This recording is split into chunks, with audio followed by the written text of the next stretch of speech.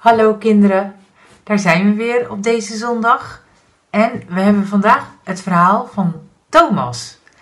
En, en Thomas is, noemen ze ook wel de ongelovige Thomas.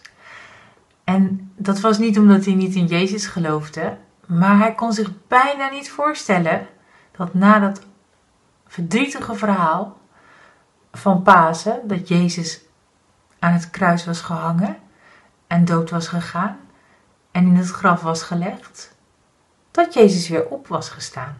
Dat lijkt me ook moeilijk te geloven. En dat is voor heel veel mensen nu ook nog heel moeilijk om te geloven. Ja, soms kan je gewoon iets niet zo goed geloven. En uh, misschien hebben jullie dat ook wel eens, dat je iets niet helemaal gelooft. Ik ga je nu het verhaal vertellen. Het is donker en de leerlingen van Jezus zijn bij elkaar in een kamer en ze hebben alle ramen en deuren dicht gedaan. En die hebben ze dicht gedaan omdat ze bang zijn. Ze zijn heel bang voor de mensen. Want de mensen waren zo boos dat ze hun vriend Jezus aan het kruis hebben gehangen. En dat is echt nog maar een paar dagen geleden.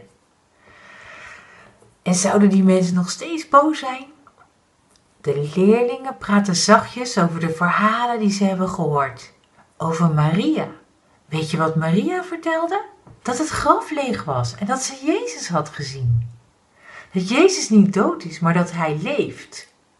Maar ze schudden hun hoofd. Dat kan toch niet? Dat kan niet waar zijn. Dat kunnen we bijna niet geloven. En opeens hebben ze bezoek. Alle ramen deuren dicht. En toch is er iemand opeens in die kamer. Jezus staat tussen hen in. En hij zegt: Ik wens jullie vrede. Wat zijn de leerlingen blij? Het is dus echt waar. Jezus leeft.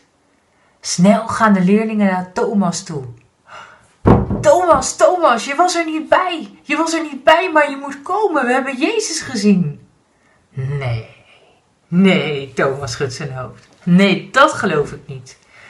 Ik geloof het pas als ik het zelf heb gezien.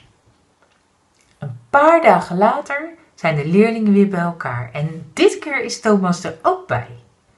Ze zijn nog steeds bang voor de boosheid van de mensen. De deuren zitten weer goed dicht. En er klinkt een stem.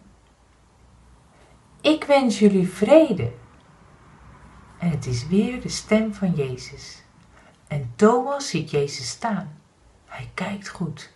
Er is iets anders aan Jezus. Hij ziet de plekken op Jezus' handen en hij ziet een wond in zijn zij. En dan weet hij, ah, hij denkt, oh, aan alles wat gebeurd is met Jezus. Aan het kruis, het graf. En Jezus komt dicht bij Thomas staan. Zo dicht bij Thomas dat Jezus hem aan zou kunnen raken. En nu gelooft Thomas het ook. Jezus leeft. Het lijkt wel een nieuw begin. Het knutselwerkje van vandaag, dat sturen we mee. Dan kan je een bril maken.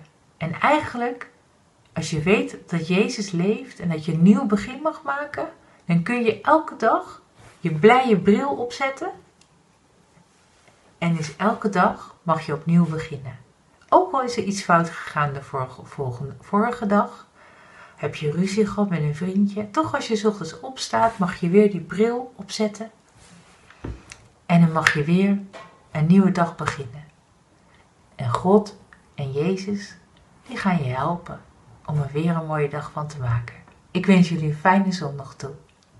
Dag allemaal, tot volgende week. Thomas, Thomas, jij kunt het niet geloven. Jezus leeft, hij is opgestaan.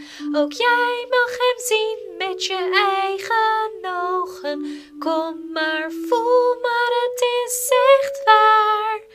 Thomas, Thomas, nu kun jij het geloven.